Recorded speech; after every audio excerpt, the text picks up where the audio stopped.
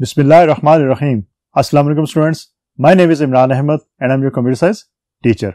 Students आज का जो हमारा क्लास नाइन का यूनिट है, वो यूनिट नंबर फोर है और स्टूडेंट्स आज के लेक्चर के अंदर हम एक चीज़ पढ़ेंगे that is called cyber crime सबसे पहले तो आपको ये मैं बताऊँगा कि साइबर क्या होता है और फिर मैं बताऊँगा कि क्राइम क्या होता है और फिर ऑल टुगेदर हम देखेंगे कि साइबर क्राइम किस चीज़ को कहते हैं और फिर उसके हम टाइप देखेंगे कि कितने टाइप्स के साइबर क्राइम जो है हमारे पास अवेलेबल है तो आइए स्टूडेंट्स फिर आज का लेक्चर फॉर्मली स्टार्ट करते हैं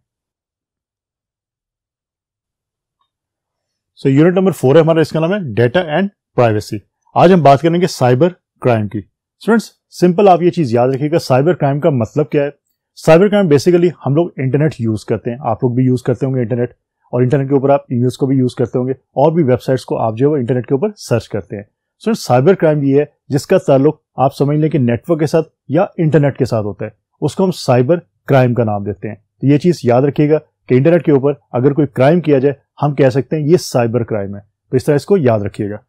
A crime in which computer network और devices are use is called a cyber crime computer network का मतलब है कि आपका इंटरनेट की एग्ज़ाम्पल हम लेते हैं। इंटरनेट के ऊपर अगर कोई क्राइम होता है तो हम कह सकते हैं ये साइबर क्राइम है। तो इस चीज़ को आपने याद रखना है। आप इंटरनेट को इसके साथ मैप कीजिए या रिलेट करके रखें तो आपको याद रहेगा कि इंटरनेट जो है, उसके ऊपर कोई भी अगर क्राइम होगा तो उसको हम साइबर क्राइम का नाम देंगे।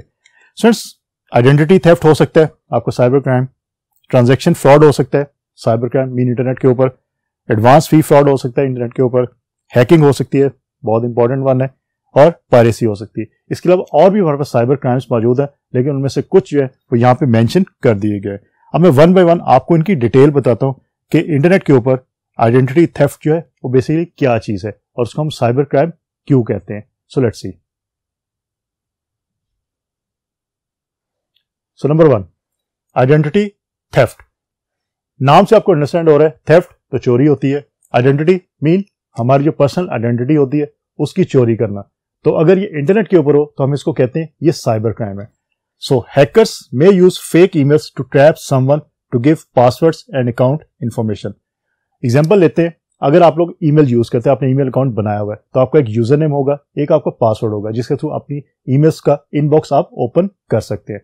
स्टूडेंट्स हैकर्स क्या करते हैं? वो आपको कोई मेल भेजते हैं। आप उस मेल को ओपन करते हैं। उस मेल के अंदर ऐसा एक प्रोग्राम मौजूद होता है जो क्या करेगा? आपके पासवर्ड्स की या आपके अकाउंट की कंप्लीट इंफॉर्मेशन जो है, उस हैकर को रिप्लाई कर देगा। मीन उसको ईमेल बैक कर देगा और आपको पता भी नहीं चलेगा।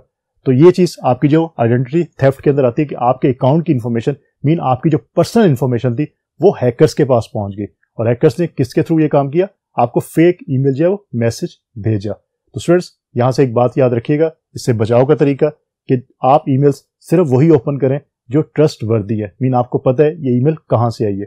अगर कोई ऐसी साइट से ईमेल आपको आती है जिसका आपको नहीं पता तो उसको आप स्ट्रेट फॉरवर्ड डिलीट कर दें। उसको ओपन मत कीजिएगा, क्योंकि पॉसिबल है कि वो किसी हैकर की तरफ़ से आपको भेजी गई हो। Number two, transaction fraud. Very common cyber crime के ट्रांजेक्शन फ्रॉड, के ट्रांजेक्शन जो आप करते हैं इंटरनेट के ऊपर उनके अंदर फ्रॉड्स हो सकते हैं। कौन से हो सकते हैं?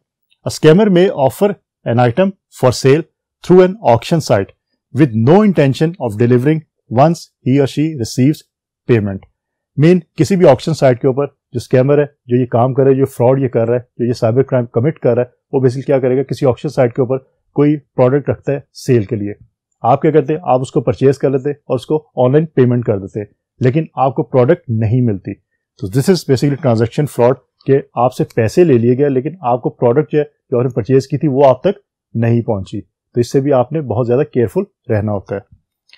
A criminal might purchase an item for sale using a stolen credit card students ये बहुत एक इंपॉर्टेंट वन और बहुत कॉमन जो है साइबर क्राइम है कि आप जो स्टोलन क्रेडिट कार्ड हो सकता है आपका क्रेडिट कार्ड ना हो, लेकिन आपके फादर का हो, या आपके मदर का हो, या आपके किसी भी जो रिलेटिव है, उसका क्रेडिट कार्ड हो सकता है।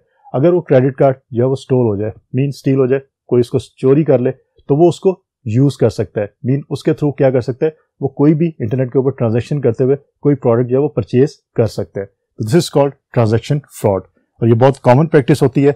इसलिए अगर किसी का क्रेडिट कार्ड जो है वो स्टील होता है, चोरी हो जाता है तो फौरी तौर पर उसी वक्त अपने जो बैंक है, जो स्पेसिफिक बैंक है रिलेटेड बैंक उसको कॉल करके अपना क्रेडिट कार्ड ब्लॉक करवाइए, ताकि आपका क्रेडिट कार्ड जो वो कोई और यूज़ ना कर सके। It is also possible to buy something from own credit card, but then reporting the credit card stolen students ये भी एक पॉसिबिलिटी है कि आपका अपना क्रेडिट कार्ड है, लेकिन हम क्या करते हैं? हम उसको यूज़ कर लेते हैं। यूज़ करने के बाद हम क्या करते हैं? हम रिपोर्ट करते हैं बैंक को कि हमारा क्रेडिट कार्ड जो है वो चोरी हो गया। चोरी करने के बाद हम ये क्लेम करते हैं कि ये अमाउंट तो हमने पे ही नहीं की। ये तो जो चोर है या जो थीफ है, उसने ये पे की है। तो हमें इसके अगेंस्ट जो है वो पैसे मिलने चाहिए। तो फ्रेंड्स बेसिकली ये भी आपके ट्रांजेक्शन फ्रॉड के अंदर ही आता है। तो ट्रांजेक्शन फ्रॉड जो है बहुत कॉमन होते हैं आपके इंटरनेट के ऊपर। तो इसको भी हम साइबर क्राइम जो है, उसके अंदर रखते हैं। तो याद रखिएगा क्रेडिट कार्ड के बारे में इंफॉर्मेशन के बारे में तो मैंने आपको बताया कि क्रेडिट कार्ड अगर आपका चोरी हो जाता है तो आप इसकी फौरी तौर पे अपने स्पेसिफिक जो बैंक है, उसको रिपोर्ट करें ताकि आपका वो कार्ड ब्लॉक कर दें और कोई उसको यूज़ ना फिर कर सके। अब स्टूडेंट देखते हैं हमारे पास नंबर थ्री के ऊपर कौन सा साइबर क्राइम मौजूद है, उसकी डिटेल हमारे पास क्या है? So let see number three advance fee fraud sometimes the hackers congratulates you upon winning a big prize and ask you to pay a small amount in advance so that the prize can be dispatch friends ये एक बड़ा common fraud uh, है, जो सिर्फ़ internet पे नहीं होता, वैसे भी फ्रॉड uh, हो सकता है। कि आपके मोबाइल पे कोई मैसेज आता है कि आपने जो किसी कंपनी की तरफ़ से कोई प्राइज विन कर लिया है। अब आप अगर उसको एक्सेप्ट कर लेते हैं, उनको कॉल बैक करते हैं तो आपसे ये कहते हैं कि इतने अमाउंट जो है हमारे अकाउंट में आप ट्रांसफ़र कर दें और उसके बाद फिर आपको प्राइस जो मिल जाएगा। तो स्टूडेंट्स इंटरनेट के ऊपर अगर यही काम हो तो इसको हम कहते हैं साइबर क्राइम और इसको हम कह सकते हैं एडवांस फ़ी फ्रॉड तो ये बहुत कॉमन चीज़ है कि आपको ईमेल आती है कि जी, आपने जो है वो कोई प्राइज जो विन कर लिया अब आप उसका रिप्लाई करते हैं तो वो आपसे ये कहते हैं कि आप इसके अगेंस्ट जो है डिस्पैच के लिए अमाउंट जो है, इतनी अमाउंट स्पेसिफिक अमाउंट आपको बता दें, इतनी अमाउंट आप जो है वो ट्रांसफ़र कर दें हमारे अकाउंट के अंदर।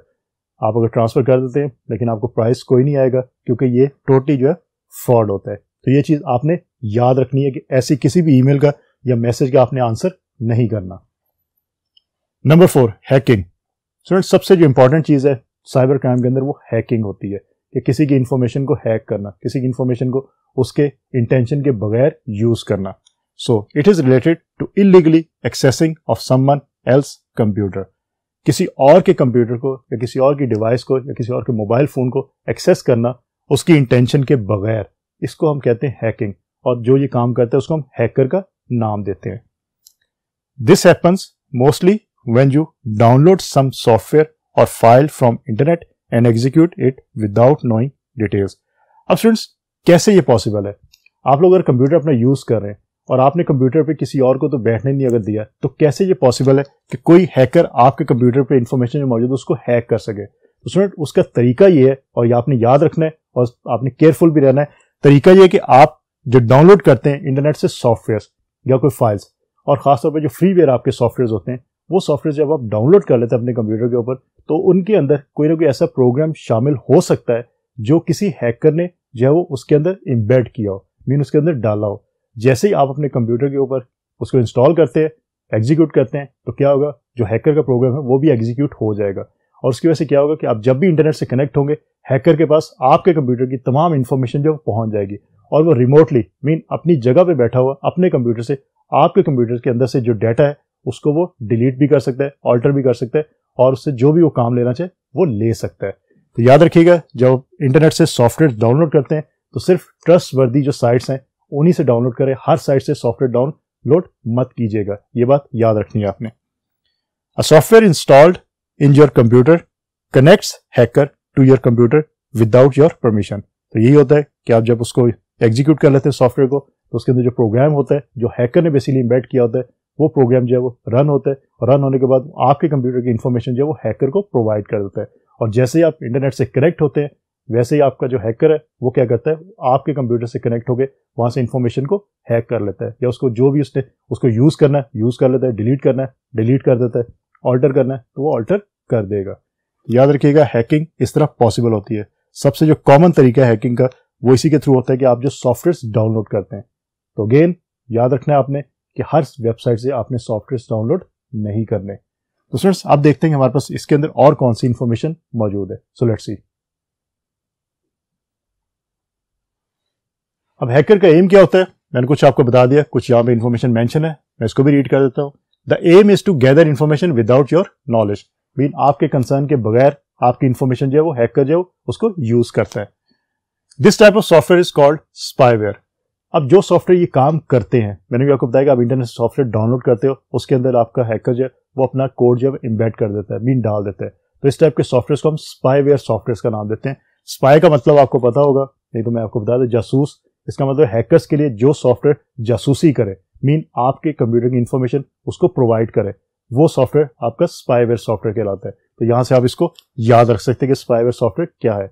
आपके एग्ज़ाम पॉइंट ऑफ़ व्यू से जो एमसीक्यूज है, या फिल इन द ब्लैंक्स है, उसके अंदर ये क्वेश्चन पूछा जा सकता है तो याद रखिएगा last one is piracy students piracy की बात हम प्रीवियस लेक्चर्स के अंदर ऑलरेडी कर भी चुके हैं। आज मैं एक बार फिर इसके बारे में बता देता हूँ, लेकिन अगर आपको इसकी डिटेल के बारे में जानना है तो प्रीवियस जो हमारा लेक्चर थे, उसके अंदर पायरेसी के बारे में मैंने बहुत डिटेल के साथ आपको बताया था, और एग्जाम्पल्स भी वहाँ पे हमने मेंशन की थी। It means making illegal copies किसी भी चीज़ की, कोई बुक हो, कोई सॉफ्टवेयर हो आपका, किसी भी चीज़ की, अगर आप इलीगल कॉपीज बनाते हैं। तो उसको हम कह सकते हैं this is piracy illegal copies का ये मतलब है कि जिसने वो चीज़ डिज़ाइन की फॉर एग्ज़ाम्पल बुक है, वो एक ऑथर ने जो है वो लिखी है बुक अब उस ऑथर की इंटेंशन के बगैर अगर हम उसकी कॉपीज कर लेते हैं तो इसका मतलब है कि हम पायरेसी कर रहे हैं। तो this is called piracy software piracy क्या है? Software piracy is the illegal copying distribution और यूजेज ऑफ़ सॉफ्टवेयर के सॉफ्टवेयर को आप इलीगली यूज़ करें। मीन रजिस्टर्ड सॉफ्टवेयर आप यूज़ ना करें। आप परचेज नहीं कर रहे सॉफ्टवेयर उसके बगैर ही आप सॉफ्टवेयर को यूज़ करें तो वो सॉफ्टवेयर पायरेसी के अंदर आता है।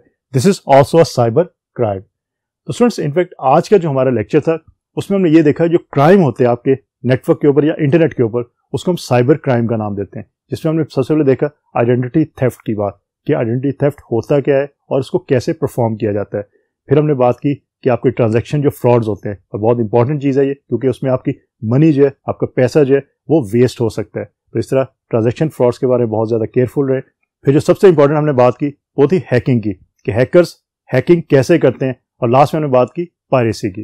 तो फ्रेंड्स साइबर क्राइम के बारे में आप अच्छी तरह इन्फॉर्मेशन रखिएगा, ये चीज़ें आप याद रखिएगा, क्योंकि आपको इन फ्यूचर इनसे वास्ता पड़ सकता है। तो आपने केयरफुल रहना है कि ये प्रॉब्लम आपके साथ जो है वो ना आने पाए। तो फ्रेंड्स होपफुली आज का लेक्चर आपको अच्छी तरह समझ आ गया होगा। इंशाल्लाह अगली दफ़ा नए लेक्चर के साथ दोबारा मुलाकात होगी। तब तक के लिए अल्लाह हाफिज़। Thank you.